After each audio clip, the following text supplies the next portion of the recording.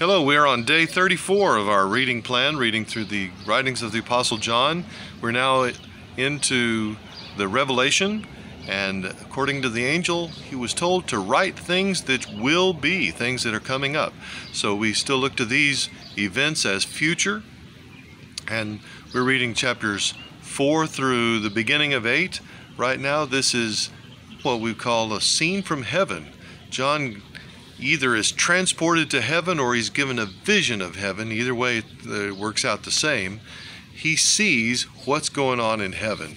And in chapter 4, it is a big worship service with uh, 24 elders. Now, these these guys, when you receive the 24, that one's kind of an easy uh, number to figure out. That's 12 tribes of Israel and 12 of, of the disciples, 12 of the apostles.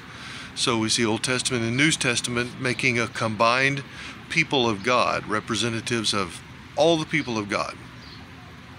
And then some of the other figures in the book are are kind of interpreted that sort of a way. Like we see the beasts and the the the beasts are reminiscent of Ezekiel, and we see what they're what they're saying in the worship service, holy, holy, holy, and that reminds us of of Isaiah 6. So these are these are common things that images and and perceptions that the reader of the of the Old Testament would be able to put together. Well, in chapter 4, there's a worship service for God, God the Father. He is worthy, and that's a beautiful song that they're singing. And in chapter 5, he's got a scroll in his right hand. That's the authority hand. That's uh, that's something no no one else can hold is God's authority. However, the Lamb comes along, and that's an, again another Old Testament image, and he is able to take that scroll, and so he takes it out of the right hand of the of the Father. So now a new song happens, and it is worship of the Son. Chapter five is worship of the Son. It's a sim, it's a similar uh, similar sort of song, Worthy is the Lamb. Now, so now we're singing to Jesus. And there are on this scroll seven seals. And chapter 6 and 7, they're opening the seven seals. I don't believe that those seals relate to the Great Tribulation because the, uh, the scroll wouldn't be able to re- be read until all of them are unsealed you'd have to break every seal to be able to uncover the scroll. And so, these are things that prelude, a prelude to what was in the scroll. And all this devastation that's coming along is happening you know, before we get to see what is in the what is in the scroll.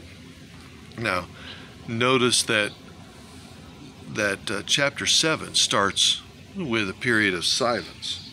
And when the when the seventh uh, the sixth seal is broken, that's hard to say.